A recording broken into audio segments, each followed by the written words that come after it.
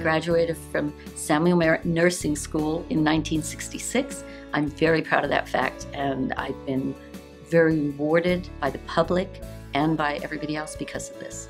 I graduated the class of 1966 with my diploma and then went back and graduated in 1988 for my Bachelor of Science in Nursing.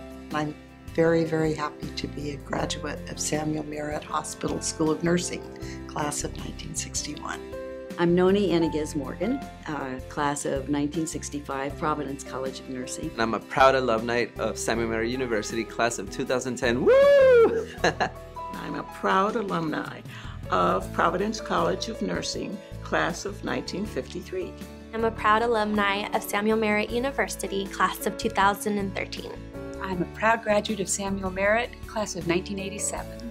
I had no idea when I went into nursing what I was facing and what I would learn, but I realized that a career in nursing was really the way to go, especially if you have adversity in your life and you can always come back. It's really made an impact on my life because of the friends I made during that time and because it was kind of the impetus of developing my uh, life in the healing arts.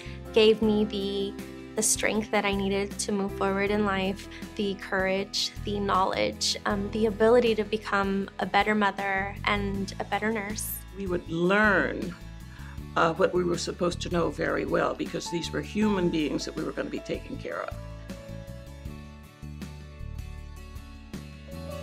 Think there were probably 29 of us in the class initially. It was like having 29 sisters. And to this day, they're still my sisters It was interesting learning about the body and physiology, but it really it was the friendships that, that was memorable. I got this panic attack and I totally forgot to speak English. I could not read, understand. Like my instructor came up to me and she's like, I don't even remember what she told me because I couldn't understand what she was telling me. So she took me out of the classroom. We were we were taking a midterm and she took me out of the classroom and we walked and she really helped me out. Like she's one of the reasons I graduated. She was she really cared for my education. It provided a job, it provided many things. Many things. My husband, in fact.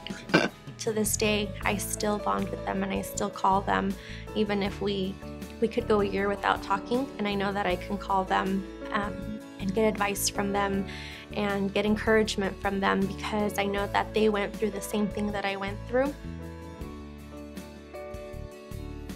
when I came out, everyone at Merritt University was very supportive of me, and it shows now because they have an LGBT committee now. Looking back, my biggest obstacle was my shyness. Um, although you can't shut me up now. my parents had gone through a hard divorce, and I was still sort of uh, working through that. And my roommate and other friends were so supportive of me and just encouraged me to continue my nursing and like the fact that I, I was helping somebody or maybe steering them in the right direction. I learned early on that you can't make people do certain things, but you can provide the information. You get the opportunity to be able to lift up others as well, and those those are the moments that you hold on to, and those are the moments that you look back to to help get you through an even more difficult situation in the future. We were laughing just a few minutes ago, saying uh, the nuns made sure that we were good nurses. There was a threat of being sent home daily. You know, you will be a good nurse, you will give good service. I mean, that's what we had to go through with, so we did our best. When we put IVs in, we put them in on each other.